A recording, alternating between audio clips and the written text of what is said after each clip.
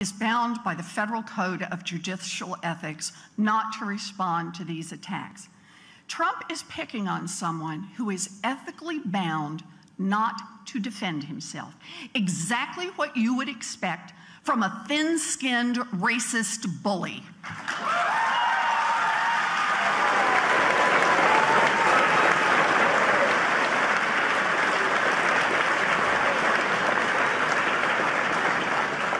Now, Judge Curiel can't respond, but we can. We can tell his story. Gonzalo Curiel was born in Indiana, not Mexico, to immigrant parents who worked hard their entire lives and who were handed nothing. He went to Indiana University for undergrad, and then he went there for law school. In, for 13 years, he worked as a federal prosecutor in Southern California, fighting the Mexican drug cartels as a leader of that region's narcotics enforcement division.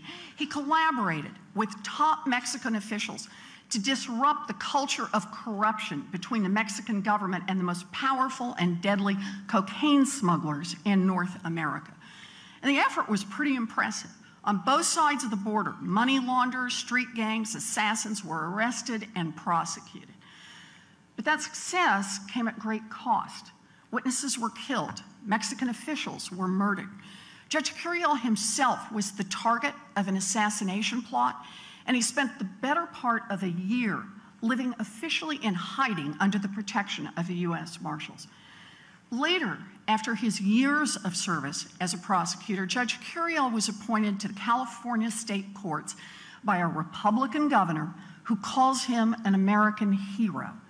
He was nominated to the federal bench by a Democratic president, and he was confirmed by a voice vote in the Senate.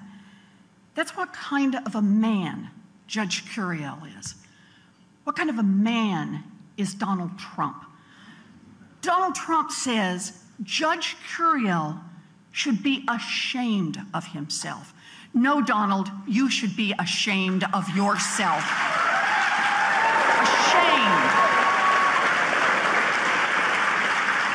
Ashamed for using the megaphone of a presidential campaign to attack a judge's character and integrity simply because you think you have some God given right to steal people's money and get away with it. You shame yourself and you shame this great country.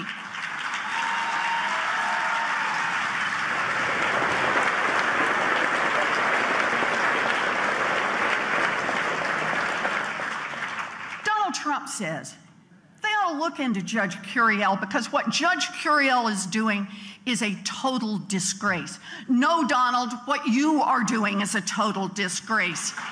Race baiting a judge who spent years defending America from the terror of murderers and drug traffickers simply because long ago his family came to America from somewhere else. You, Donald Trump, are a total disgrace.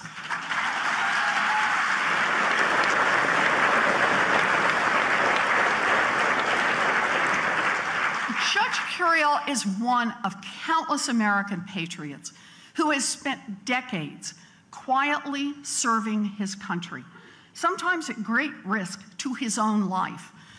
Donald Trump is a loud, nasty, thin skinned fraud who has never risked anything for anyone and who serves no one but himself. That's right. And that is just one of the many reasons he will never be president of the United States.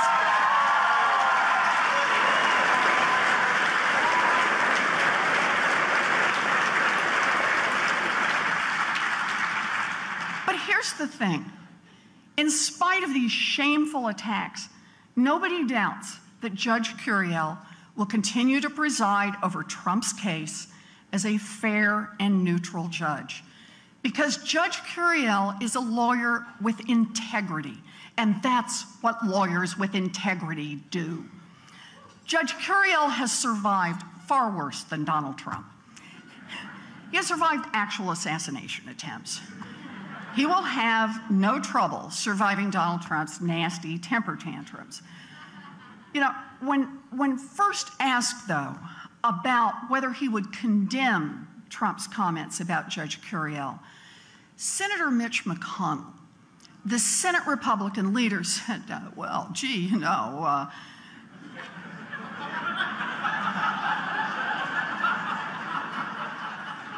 Donald Trump is certainly a different kind of candidate. and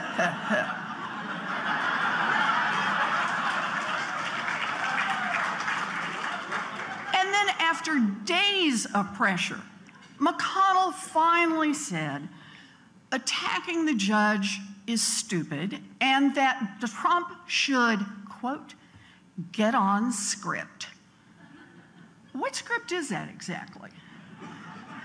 And where do you suppose that Donald Trump got the idea that he can personally attack judges, regardless of the law, whenever they don't bend to the whims of billionaires and big businesses? Trump isn't a different kind of candidate, he's a Mitch McConnell kind of candidate. Yes. He is exactly the kind of candidate you'd expect from a Republican Party whose script for several years has been to execute a full scale assault on the integrity of our courts, blockading judicial appointments so Donald Trump can fill them, smearing and intimidating nominees who do not pledge allegiance to the financial interests of the rich and powerful. That's the kind. Now, Trump is also House Speaker Paul Ryan's kind of candidate. Paul Ryan condemned Donald Trump's campaign for its attacks on Judge Curiel's integrity. Great. Where's Paul Ryan's condemnation of the blockade, the intimidation, the smears, and the slime against the integrity of qualified judicial nominees and Judge Garland? Where is he? Yeah.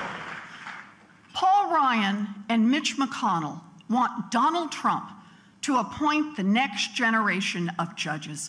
They want those judges to tilt the law in favor of big businesses and billionaires like Trump. They just want Donald Trump to quit being quite so vulgar and obvious about it. yep. So, look, Donald Trump chose racism as his weapon, but his aim is exactly the same as the rest of the Republicans pound the courts into submission for the rich and the powerful. Senator McConnell recently said he's, quote, pretty calm about Donald Trump because what protects this country against big mistakes being made is the structure, the Constitution, the institutions. Mitch McConnell is 100% wrong. Our democracy does not sustain itself. Our Constitution does not sustain itself. The rule of law does not sustain itself. There have always been those with money and power who think that the rules shouldn't apply to them, those who would pervert our system of government to serve their own ends. They've tried it before and they're trying it now. And all that is required for the rule of law and our independent judiciary to collapse is for good people to stand by and do nothing. Now is not the time to stand by. Now is the time to stand up. Now is the time to say no. Not here, not in these United States of America. No.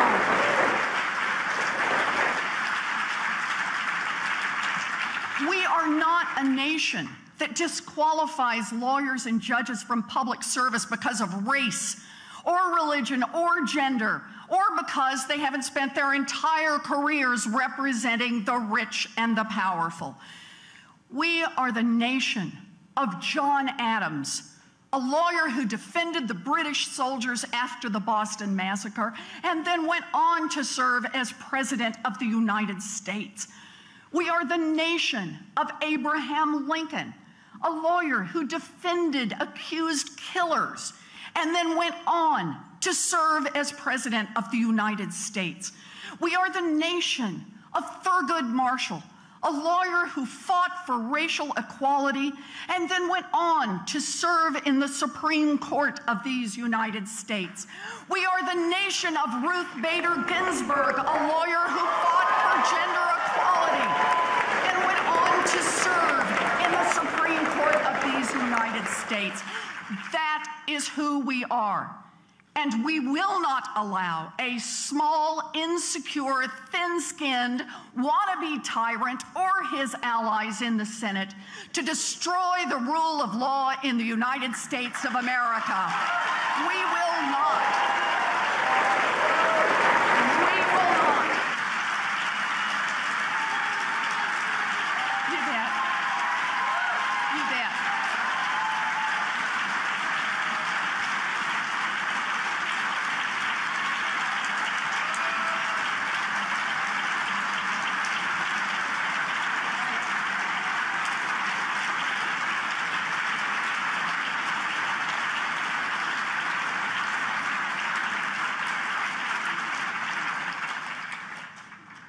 We are ready for this fight because it is time to fight again, as it has been time to fight in every generation for those four simple words that define the promise of our legal system equal justice